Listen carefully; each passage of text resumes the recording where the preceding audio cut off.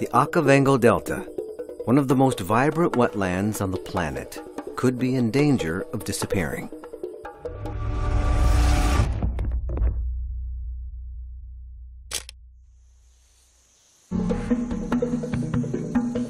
From deep in the Miombo forest highlands of Angola flow the surface water that feeds the Cuito and Cubango rivers.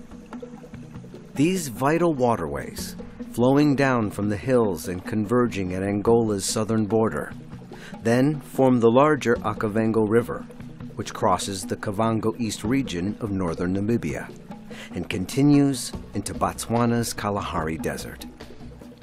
Every year, 2.5 trillion gallons of life-giving water flows from Angola through Namibia to Botswana, and there preserves what could be called one of the world's largest inland delta oases, teeming with wildlife like hippos, elephants, and African fish eagles.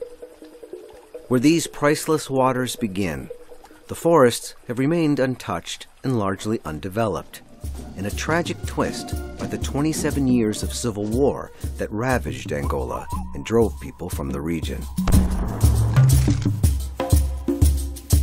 The upper reaches of the rivers are still laced with landmines. Mines that in Angola have killed thousands and injured up to 80,000 people since 1961.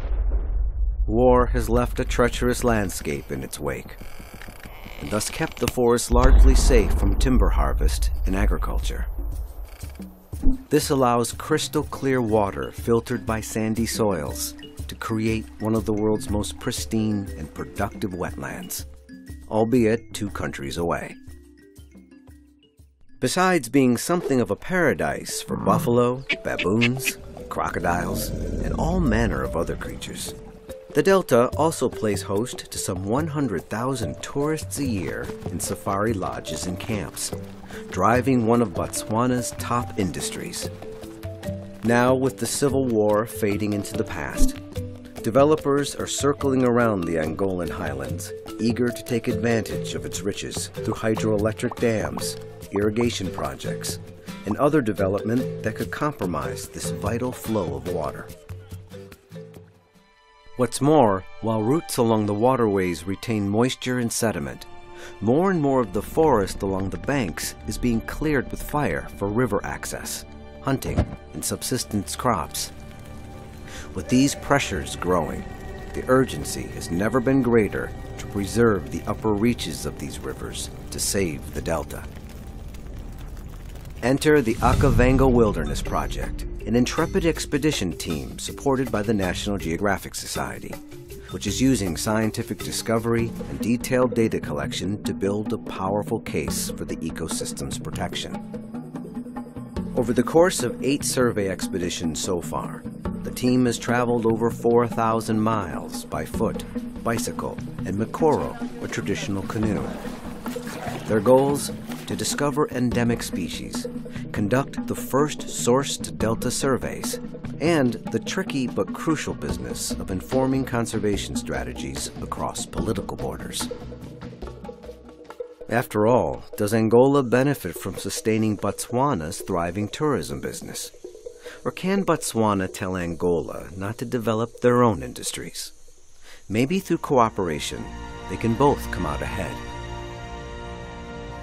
The team works in collaboration with Angolan officials to conduct this exceptional study of the Cuito and Cubango rivers, noting wildlife and human presence alike.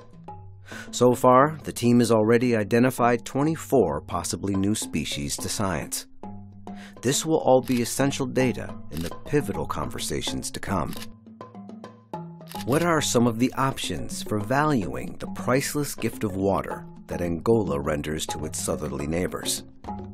For one, the Cuito and Cubango could support a growing ecotourism industry in Angola.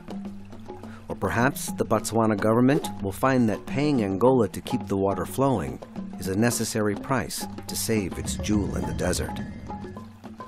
Saving the Okavango Delta will ultimately require the investment and collaboration of at least three countries Angola, Botswana, and Namibia in order to ensure that this fragile ecosystem can function as a whole.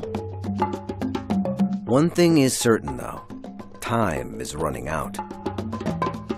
Without vigilant conservation efforts like those of the Okavango Wilderness Project, one of the world's wondrous wetlands may not survive.